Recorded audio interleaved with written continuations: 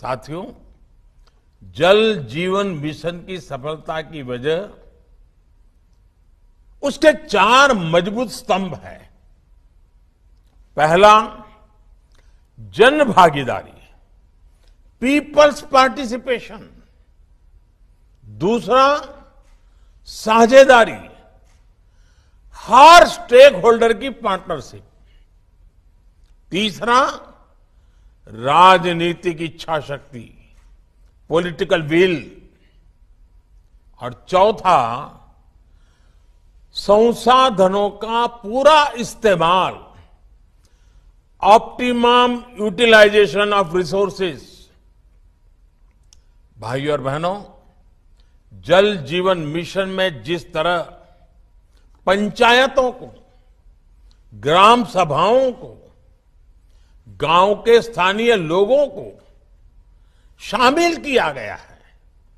जिस तरह उन्हें अनेक जिम्मेदारियाँ सौंपी गई हैं यह अपने आप में अभूतपूर्व है।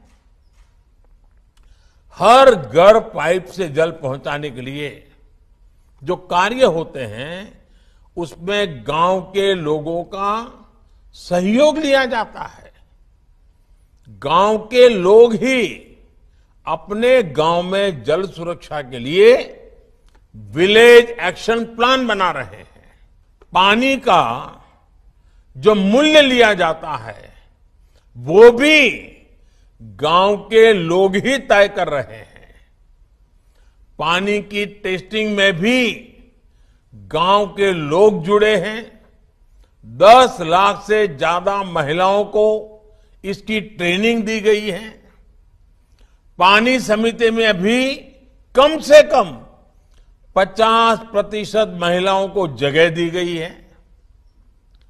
जो जनजातीय इलाके हैं, वहाँ तेज़ी से काम हो, इसे प्राथमिकता दी जा रही है। जल जीवन मिशन का दूसरा स्तंभ साझेदारी है। राज्य सरकारें हो, पंचायतें हो स्वयंसेवी संस्थाएँ हो, शिक्षण संस्थाएँ हो, सरकार के विभिन्न विभाग और मंत्रालय में सभी मिलकर काम कर रहे हैं। इसका जमीनी स्तर पर बहुत बड़ा फ़ायदा मिल रहा है। साथियों, जल जीवन मिशन की सफलता का तीसरा मुख्य स्तंभ है राजनीतिक इच्छा शक्ति जो पिछले सत्तर साल में हासिल किया जा सका, उसमें कई गुना ज़्यादा काम सात साल से भी कम समय में किया जा रहा है। कठिन लक्ष्य है, लेकिन ऐसा कोई लक्ष्य नहीं जो भारत के लोग ठान लें और उसे प्राप्त ना कर सके। केंद्र सरकार राज्य सरकारें, पंचायतें, सभी इस अभियान को तेज़ी से पूरा करने में जुटी है। जल जीवन मिशन संसाधनों के सही इस्तेमाल पर ऑप्टिमम यूटिलाइजेशन ऑफ़ रिसोर्सेज पर भी उतना ही बल दे रहा है।